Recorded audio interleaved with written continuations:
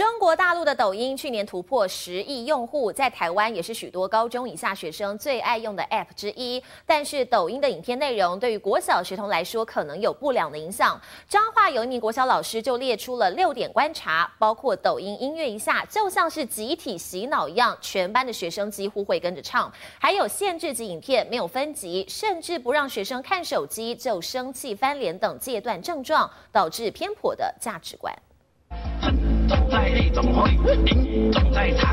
就是这首中国老总配乐节奏，加上简单又趣味的歌词，瞬间变成传唱度超高的爆红神曲。魔性旋律当然得配上动作，跳起来。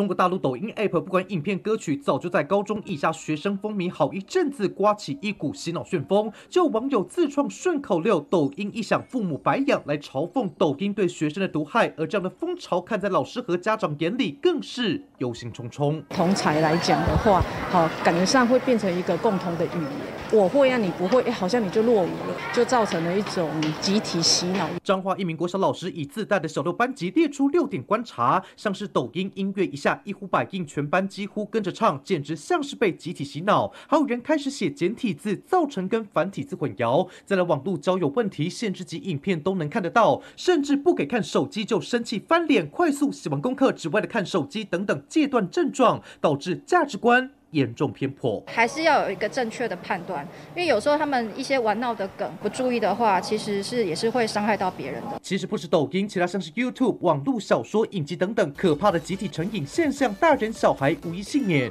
呼吁家长要多加关注孩子上网都在看什么、听什么，以免小孩被手机控制，大人又被小孩牵着走。借道猫脏话，藏不到。